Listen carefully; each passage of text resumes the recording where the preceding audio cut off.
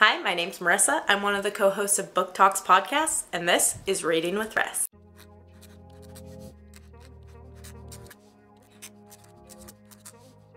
We have breaking news on the May Book of the Month picks, so I wanted to go through them with you and also do a little show and tell because I already have one. So let's get right into that.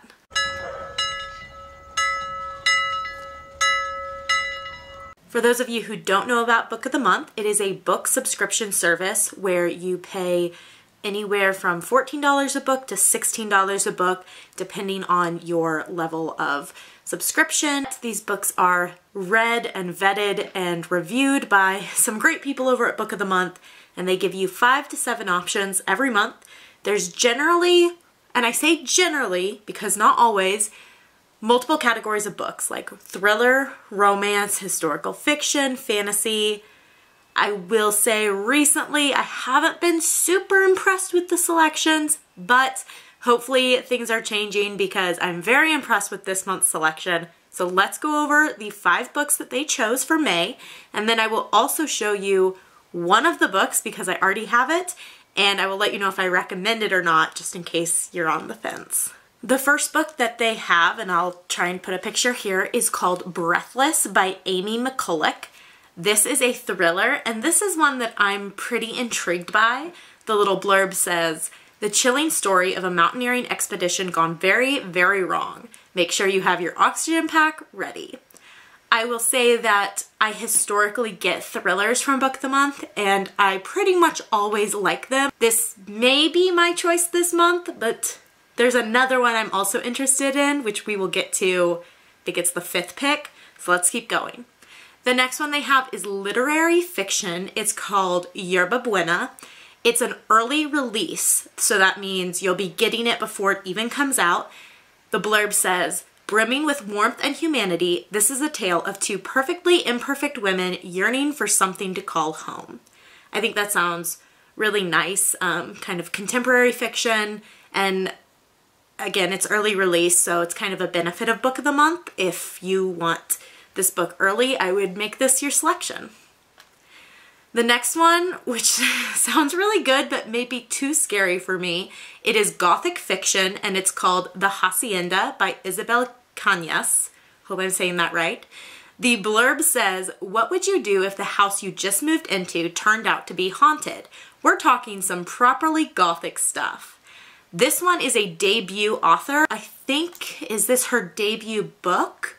I'm clicking in to see if it says, ooh, good things to know. Psychological, forbidden love, supernatural, and creepy.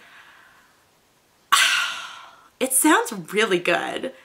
I, for those who don't know, I love psychological thrillers and forbidden love is a great trope. This one is technically considered gothic fiction, not really sure what that category entails, but you know, if you're looking for something different and maybe a little creepy, that would be a really good choice. The next book is historical fiction called Take My Hand by Dolen Perkins Valdez. The blurb says, the moving story of a fiercely protective nurse who will stop at nothing to get justice for the girls in her charge. Let's see, it covers social issues, it has real life characters, and it's set in the 70s it looks like. For those of you who know me, you know I'm not a big fan of historical fiction, but there's a big group of people out there who love historical fiction, so I have a feeling we'll be seeing this one on Bookstagram. The next option, oh, this is the fifth option, which means they gave us a sixth, right?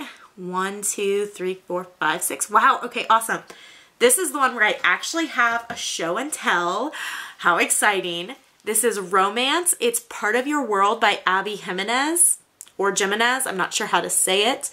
This I got an early release copy from Abby and her team. We actually reviewed this book over on Book Talks Podcast, season four, episode two, I believe. Such, such a great book. Romance. I'm not a huge fan of romance, if I'm being completely honest, and I gave this five stars. This was really good. I love the characters. I love the story. It's about um, an older older woman. She's 37 years old, looking looking for her place in the world. So it was it's just a really great book about someone kind of finding their place, finding where this guy, Daniel, fits in. He's got a baby goat. I cannot recommend this one more. It is so good. But if you're just interested in the Book of the Month blurb, it says, this charming story of an unlikely small town romance will have you swooning and firmly reassured love can conquer all. Oh, that's a good blurb. It says it's emotional, 400 plus pages. What? I read it so fast it didn't feel didn't feel that that um that long. It it reads really fast. The last pick, and this is the one I might be getting. I don't normally get fantasy from Book of the Month because it's kind of hit and miss in my opinion, but this one is called Darling Girl by Liz Michalski. It says, Revealing dreams as nightmares, this gripping Peter Pan rewrite reveals a complicated story of fate and fortune. I love a good retelling, and Peter Pan's not one that I do often, but I think Peter Pan, like just the story in general, is actually kind of creepy. And so I think a retelling could be really good. Some of the things that it says are good to know is it's a puzzle, it's action packed, it's based on a classic. They also give an FYI, so kind of a trigger warning here. It says this book contains a scene that depicts sexual assault. So if that's something that is going to be hard for you to read, I don't recommend this one. I appreciate, I really appreciate that Book of the Month gives that disclaimer because, you know, if you got this book super excited and then that disclaimer wasn't there, you might be disappointed.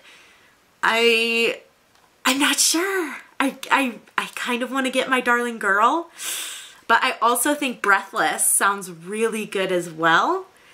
I'm very happy with this month's picks. I was disappointed in last month. I actually skipped last month, did not find anything I liked.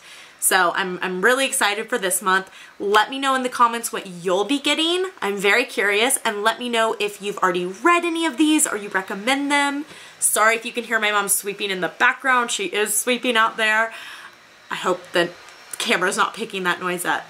Sorry if I look a mess. I just wanted to throw this together really quick and get it up there in case you were wondering what the options were, waiting for the May books like I was. I do want to know what you guys are getting, so let me know in the comments. If this video was helpful, hit that like, hit that subscribe, and when I get my book, I will do a little show and tell. Can't wait to see you then. I'll talk to you later.